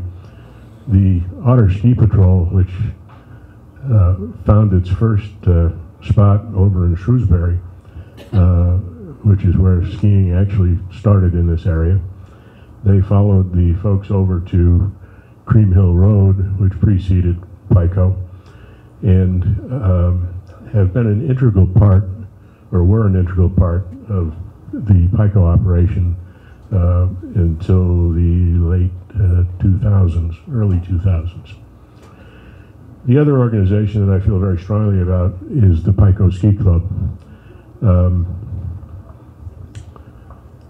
our children, our grandchildren, our nieces and nephews, most of our friends' children, the Ackers, the Ullmans, the Higginses, um, all grew up skiing uh, on a regular basis, and most of them became racers. The funny thing, uh, in those days, the uh, when the kids were were uh, young, they were at uh, Christ the King and MSJ for school, and we convinced the school administration that if they'd simply let the kids out so that they could train in the afternoon, we'd provide uh, championship trophies. And believe me, folks, there's nothing a Catholic school likes more than championship trophies. So that was kind of the creation, if you will, of the of the Everyman Ski Team or ski racing program, which exists today, where uh, youngsters don't have to be in the academy setting. That's not to say that the academies aren't great, but a youngster can progress here uh, with the Pico Ski Club, and now with the excellent uh, uh, assistance of the uh, Pico Ski Educational Foundation. There are a couple of three things that were particularly interesting. You saw some pictures of the pro races. Those were exciting days, um, needless to say. Um, I will share one story, and I, told this with, with Kurt Belden. When uh, he won the lease of a Cadillac out at uh, Jack Frost, um, my friend Bill Stenger called me and said, is this a good thing to uh, lease? And I said, well, Bill, you better insure it heavily because it will come back in the back of a dump truck. and it did.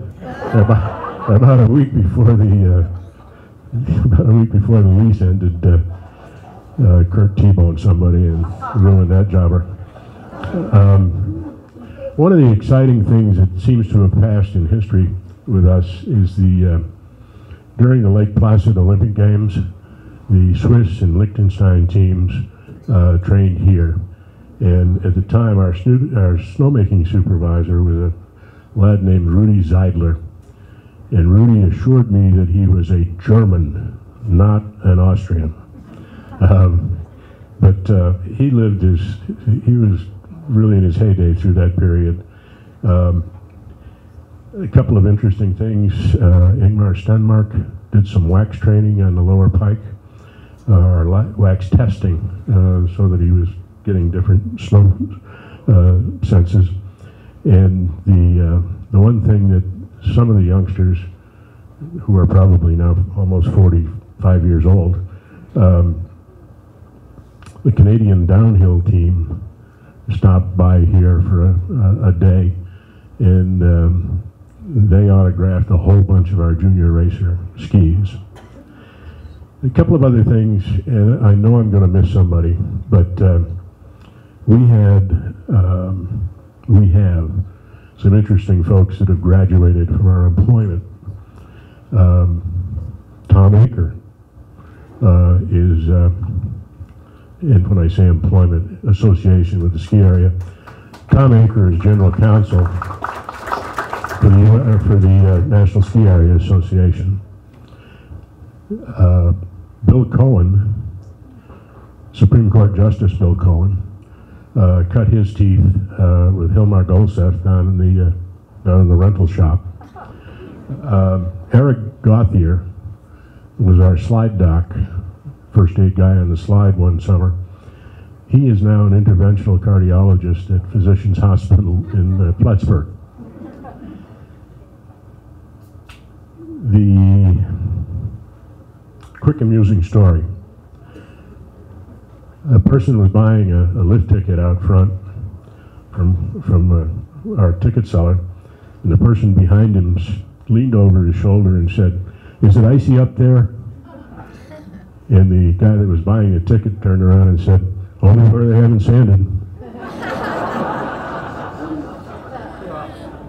The last personnel story that, I, that I will tell you, which I think is kind of interesting, when we were uh, chasing the Appalachian Long Trail easement piece, uh, we were up against some pretty tough guys in Washington, and our local council suggested that we needed uh, Washington counsel. So off to Washington we went and ended up with an individual who had been in the Reagan White House. Yeah, the Reagan White House. And um, had then migrated to a, a private law firm and seemed to go to all of the proper cocktail parties, which was the way they distinguished themselves in Washington. They had to go to the right place. Um, and actually made a visit here. We were on the top of the mountain looking back toward Killington because to answer that land question that somebody asked here, the Pico land was 2,200 acres at that time, which went all the way down on the back of Ram's Head in the, the west shoulder of, of the Killington area. Uh, but uh, this individual stood on the top of Pico in his three-piece suit, polished wingtips, and said, well, let's walk over to Killington.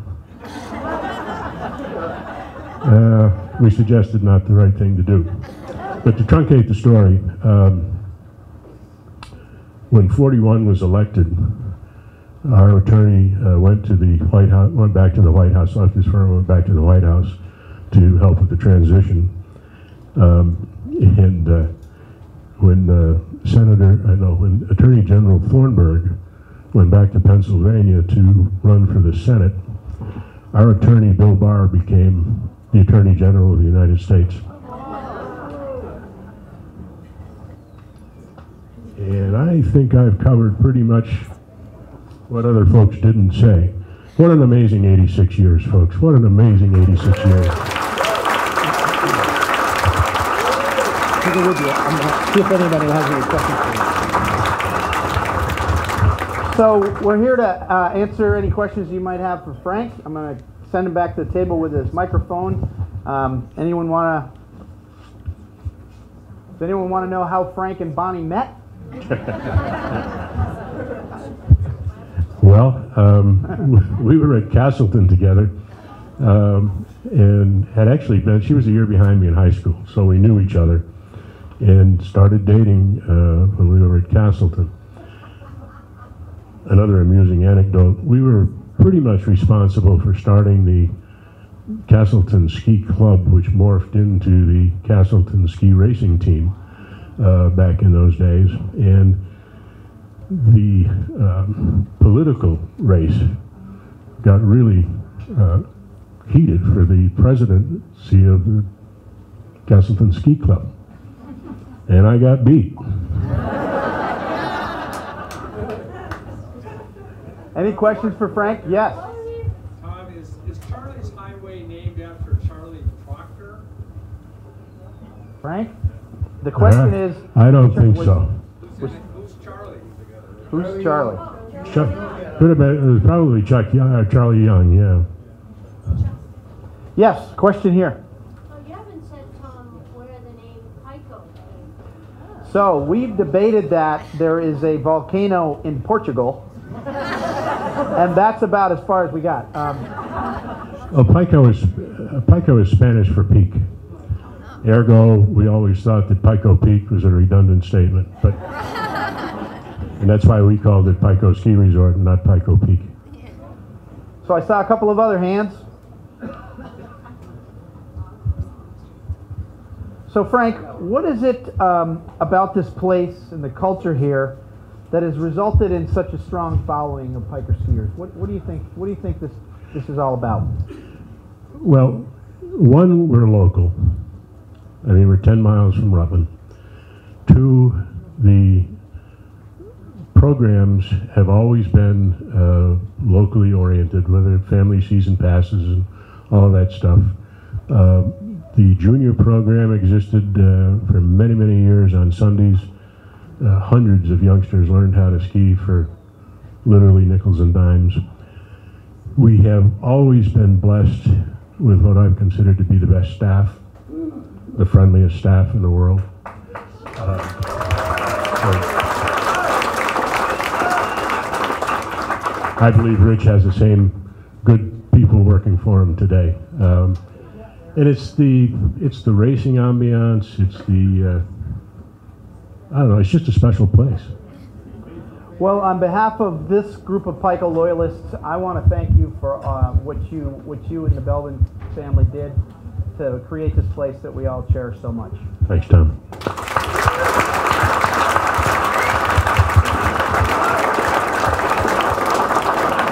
So, ladies and gentlemen, that is, I, I think I'm supposed to introduce um, Sheila to provide some clothing, closing, clothing, clothing. We're all getting clothing. Closing comments, and I do not see her. Where? There you go. Thank you, Sheila. Wow. what a, you've been an amazing audience. It's hot, it's close, it's tight, and you all hung in. Thank you so much. Give yourself a round of applause. It's great.